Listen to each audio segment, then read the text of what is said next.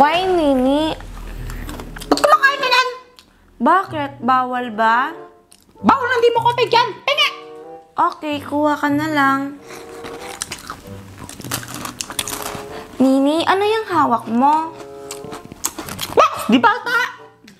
I know that's box, pero anong laman yan? Ah! Ano ba na to?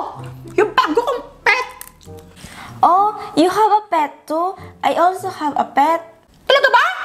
Sige nga, asan ang pet mo? Ba't di ko makita? Asaan? Andun siya sa kwarto, natutulog.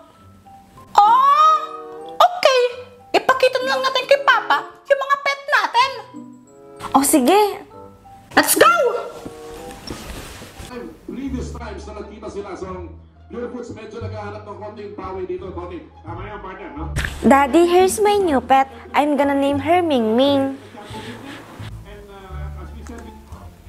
Aba, ang cute naman ng pusa na yan ah. Teka, saan mo ba nakuha yung pusa na yan? Diyan lang po sa labas, pagala-gala lang siya. Abay, okay yan. Basta ipaalam mo rin sa nanay mo ah. Papa! Ito naman po yung bago kong pet! Pet mo yan.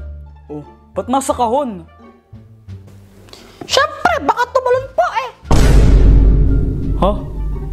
Ano ba? Ano bang laman, ano, bang, ano bang laman yung kahon na yan? Ano ba yung pet mo? Ah!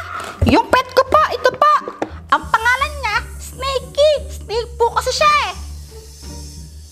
Ni- Ni- Nini, ano ba?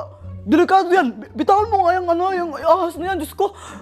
Bitawan mo yan. Delikado, delikado yan.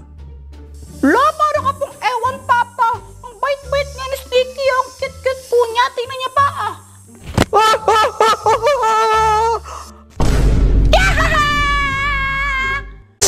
Nini! Mupo ka dito! Hoy, Nini! Hindi ka na pwede mag-alaga ulit ng ahas ha. Ibabalik ko na tong ahas to sa gubat ha. Itatapon ko na to doon. La, gusto ko po si Snakey eh. Ay, Nini! Hindi pwede yan! Ang ahas na ganito, hindi dapat dito sa bahay nakatira. Sa gubat dapat to nakatira. Delikado para sa atin to.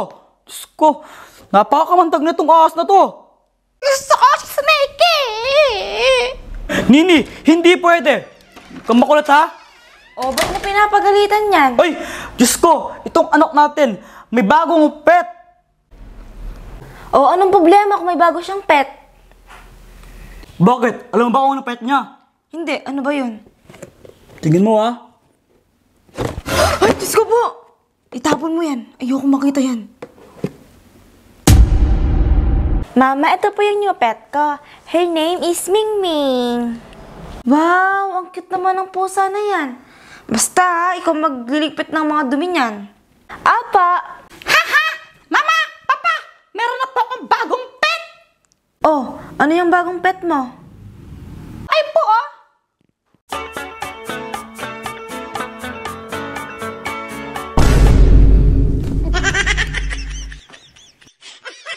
Sa mga kids na nanood, joke lamang ito ah, huwag niyong gagayahin.